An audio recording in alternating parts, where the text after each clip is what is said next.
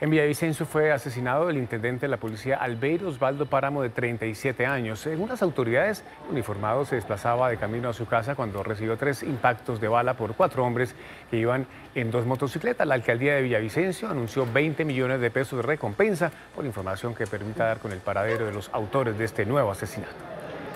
Lo impactaron con arma de fuego se tuvo la reacción igualmente por parte de la policía. Estamos en este momento en las diferentes actividades tendientes a ubicar los responsables de este hecho. Se está haciendo la inspección al lugar de los hechos por parte de la seccional de investigación criminal, donde se pudo ubicar una de las motocicletas de los delincuentes. Asimismo hay unos panfletos alusivos a las FARC.